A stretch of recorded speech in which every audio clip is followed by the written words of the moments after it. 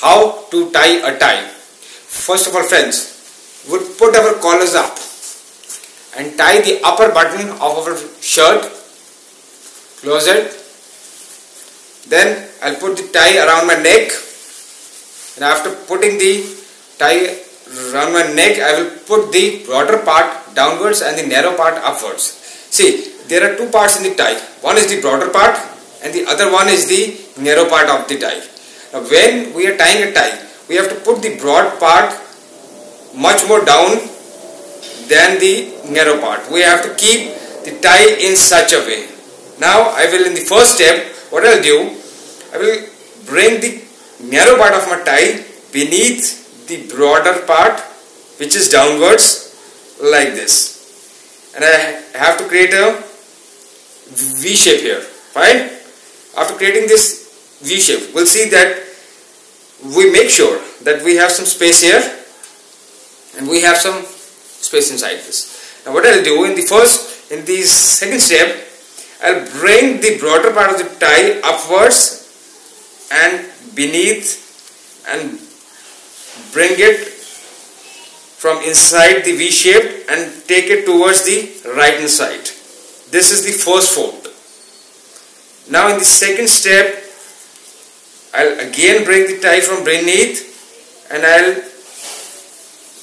make another fold on the left towards the left hand side. Now this is the shape that we are getting in these two folds. Now to, to complete this knot, in the fourth step, what we have to do, we just have to bring the broader part from beneath the V shape and this tie and we have to cross this this way.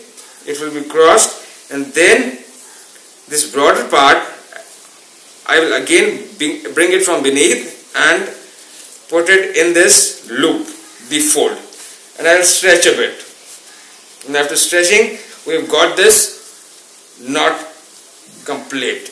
Now to pull back we have to make sure that there are uh, two parts in the tie. One is the broad part and the other one is the small the narrow part. Now we will pull this narrow part downwards and we'll pull the loop, the knot upwards.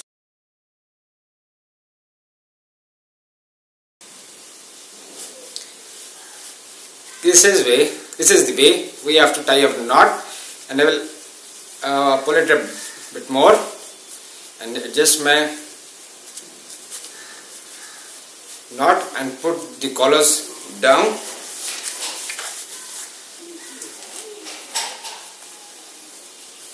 that's it so I have been able to tie a tie. And this is how you tie a tie. Thanks for watching